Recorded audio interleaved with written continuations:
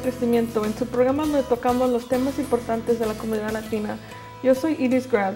Nuestras invitadas son Ana María Longuines y Kathy Rodríguez y vamos a tocar el tema de educación. Gracias por estar aquí el día de hoy. Gracias por invitarnos. Gracias por la invitación. Mi primera pregunta va a ser, eh, ¿cuál es su opinión acerca de la educación eh, de aquí de los Estados Unidos? Señor, Ana. Um, es buena, me gusta. Eh, mis hijos han estado muchos años en, en aquí estudiando y los maestros son muy buenos maestros, los servicios que dan en las escuelas son buenos, a mi parecer, y me gusta el sistema que tienen para, para la educación en este país. Muchísimas gracias, señora Kathy. Pues para mí se me hace una buena oportunidad para los que hemos emigrado a este país. Se me hace que es un, algo, una oportunidad muy grande para ellos que tengan este, alguna carrera. En este.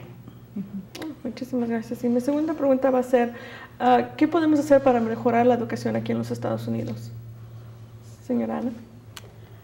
Um, ay, de momento no tengo una respuesta, pero me parece que no, podrían, este, Buena pregunta. ya me equivoqué. No, no se preocupe. Uh, ¿Le podemos dar un poquito de tiempo si gusta Katy responder? Pues pienso, pienso que la- eh, sería apoyar a nuestros hijos en lo que ellos quieren este, estudiar para poder este, que ellos alcancen la meta que ellos quieran este, tener. Este, más que nada apoyarlos para poder que salgan adelante en lo que ellos deseen. Mm, Muchas gracias.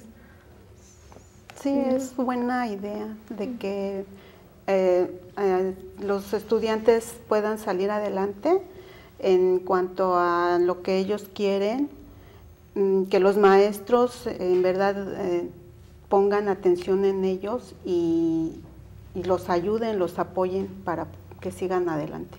Mm, Muy buenas respuestas, muchísimas gracias. Mi otra pregunta va a ser, este, ¿ustedes qué opinan en el rol que nos- nosotros los latinos acerca de maestros, ayudantes de maestros en educación tenemos? ¿Cuál es su opinión de ustedes? Para mí es algo bien importante de que hay demasiados maestros hispanos este, en este país y ayudantes y colaboradores. Se me hace un papel muy importante de ellos que estén apoyando a nuestra comunidad este, latina, no solamente a los anglosajones, sino también a los este, a nosotros como hispanos y ellos se me hace que están poniendo mucho de, mucho empeño de su parte, están ayudando mucho a la comunidad. Mm, Muchísimas gracias, señora Ana. Sí, eso es verdad porque pienso más que nada que nuestros hijos y, y nosotros como papás también eh, necesitamos alguien con quien identificarnos, con, con quien este, poder comunicarnos bien porque a veces el, El el idioma. idioma es el problema. Sí, claro. Y, y cuando hay personas que, que nos ayudan en ese sentido es bueno porque así podemos estar seguros de que nuestros hijos eh, van a estar bien. En las escuelas, ¿verdad? Sí. Bueno, muchísimas gracias por estar aquí y eso es todo. Muchas gracias a ustedes Gracias por la invitación. Gracias.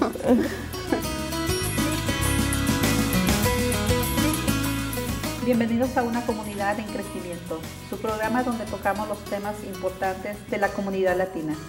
Yo soy Katy Rodríguez, hoy nuestras invitadas son Ana María Longuines y Mati Rodríguez y vamos a tocar el tema de la salud y el bienestar de la mujer. Gracias por estar con nosotros el día de hoy, bienvenidas. Gracias por invitarnos.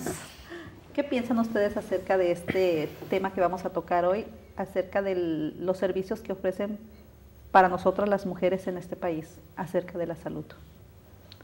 Porque hay mujeres que no están enteradas de servicios que están gratuitamente para las mujeres o a bajo costo. ¿Qué tan involucradas están ustedes en, esos, en ese tema? Bueno, yo pienso que para hablar de este tema es un poco difícil porque muchas veces no estamos en realidad informados, no, no estamos enterados de, de todos los servicios que esta comunidad eh, ofrece y de qué servicios nosotros podemos este, recibir. Recibir, qué servicios podemos recibir. Y muchas veces tenemos miedo, ¿verdad? A veces de acudir a algún lugar por los altos costos de, los, servicios. los, servicios. médicos y, por eso no nos no vamos con el doctor, o no tenemos nosotros a veces manera de, informarnos de qué podemos no y a veces también este no sé ustedes si les ha tocado casos donde hay personas que por el, hecho de ser este mexicanos o latinos este, a veces les niegan los servicios, pero estamos en un país donde todos tenemos los mismos derechos y no sé si ustedes están enterados de los programas que a veces en las clínicas ofrecen para todo este tipo de personas y no tener miedo a acercarse a pedir la ayuda necesaria a pesar de ser indocumentadas.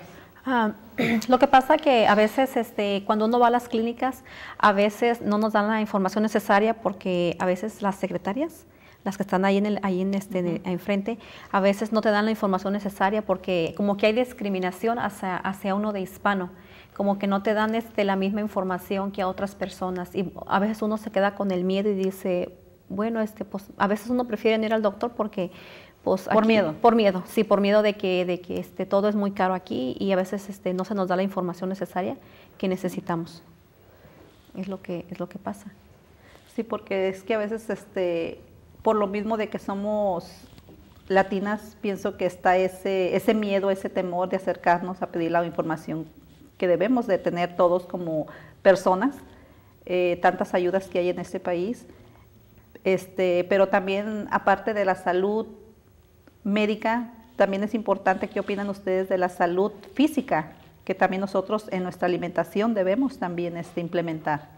Ah, pues yo opino que y pienso que debemos de tener una alimentación este, como comiendo más saludable, porque como hay tantos casos que en, los latinos este, está mucho la obesidad, como mexicanos que somos, existe la obesidad, y es debido a que venimos con las costumbres de nuestros padres, de nuestros antepasados, que nos enseñaron a comer de una manera, a como venimos estilo México con una alimentación totalmente diferente a la de aquí, a la de este país. Entonces nosotros es difícil y yo pienso que ya debe de haber un hasta aquí y uno como, como padres debemos este, cambiar esa manera de alimentación, como comer este, más verduras, más frutas, más saludable, no tanta, como, como tantas cosas que contengan mucha, como mucha grasa y todo eso, y mantenernos un poco en ejercicio, en, un balanceo pues por el bien de nosotros y por el bien de nuestra familia y de nuestros hijos. Sí. Porque en los latinos se ha este, presentado más el caso de la diabetes. Por lo mismo pensamos que es por eso mismo, por la manera de alimentarnos y por no practicar este, el, ejercicio, que tanto los, los americanos en este país son los que se miran más que andan en las calles caminando, corriendo, ejercitando. Este, y por eso es de que hay tantos programas ahorita de, del, no sé si han escuchado los programas del Zumba, de que andan mucho por lo mismo, porque nos están invitando como latinos a que nosotros mantengamos, nos mantengamos activos para que este, no, no, no caigamos en alguna enfermedad. Sí. Por lo mismo. Porque nosotros a veces culpamos, es que ya traemos este, el diabetes de, es de herencia, es de familia, pero no. Es por nuestra manera de alimentación que a veces este, nos creamos tantas enfermedades. Entonces yo pienso que ya es momento de, parar y decir hasta aquí y cambiar nuestra manera de, alimentación y con un poco más de ejercicio y una dieta es todo muy balanceado. Todo en balance pienso que sería mejor para todos nosotros, ¿no? Para que no caigamos en alguna enfermedad y sería este que inculcáramos, ¿no? A nuestros hijos desde pequeños a que a que comieran saludable eh, y porciones pequeñas, no en exageración, pienso yo, ¿no? También eso es muy importante, ¿no? Sí, también hay unos programas, yo no sé si sigan haciéndolo, pero son de, nutrición. Entonces ahí le enseñan a las personas a hacer un cambio de comer ya más verduras, más... Más saludable. Este, sí, más saludable. Pero aparte también yo pienso que es más importante la actividad física porque estamos viendo mucho el problema de la obesidad en los niños, pero también debemos de pensar de que, por ejemplo, los niños de nuestro país hacen más actividad física, física jugando, corriendo, Y, aquí ya este, están en los videojuegos, están en la televisión. Es más tiempo que pasan es sentados. más tiempo ¿no? que Sí. pasan sentados inactivos. y, y yo pienso que eso también debemos de cambiarlo porque mm, la actividad física pienso que es más importante que la manera de, de- de nutrirse, ¿verdad? Pues yo pienso que sería todo un balance, Pero- ¿no? Tanto como ejercicio y comer saludable, o comer porciones pequeñas, pienso yo, ¿no? Sería también la, la Una buena, y una buena también opción. uno como, como este, mujer, como ahorita el tema que estamos tocando es también del bienestar de la mujer. Yo pienso que debemos de darnos nosotras mismas nuestro tiempo para hacer alguna actividad física, porque física. muchas veces nos envolvemos tanto en el trabajo, en las cosas que tenemos que hacer en casa, En los en quehaceres. los niños, en todo, y nunca pensamos en nosotros. Y nos olvidamos de nuestro propio bienestar y, y- Ujú. y también es importante eso de que pues Sí. nosotros somos los que tenemos que darnos también un poco de tiempo poco de para tiempo. que podamos darles mejor calidad de tiempo a nuestros hijos, pienso yo. ¿no? Y, y, este, por eso te digo que pienso que es mejor que nosotras mismas nos demos nuestro tiempo y seamos a lo mejor un poquito egoístas en cuanto a eso, pero sí Pues yo pienso que no necesitamos sería cuidarnos, sino sería para estar cuidarnos nosotros mejor mentalmente y físicamente y poder estar mejor con ellos también. Y darnos Porque así- nuestro tiempo para poder ir a, a hacer, a caminar, a correr, a, ahora está mucho el, eso de la de zumba, y pienso yo que es algo bueno, muy bueno porque te ayuda a relajarte, eh, bajar el cambias de, sí, Y aparte de que, de que es algo, nos ayuda para nuestra salud y es algo muy Divertido. Económico. Ajá, es muy económico, económico. no, no es caro, es algo muy, por el bien de nosotros, es algo, Exactamente. Y Es un- aparte de que, ajá, es algo que pienso que es mm, importante para, para nosotros como mujeres y para darnos esa oportunidad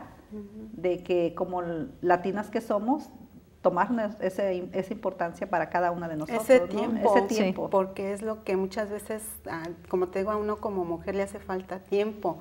Y si tú no te das el tiempo para cuidarte a ti misma, nadie te lo Es va a donde dar. vienen las enfermedades y caemos a lo que es la, la, Más que nada porque nos estresamos, porque caemos muchas veces en depresión, en, en cosas que mm, a veces la gente no, no lo nota, ¿verdad?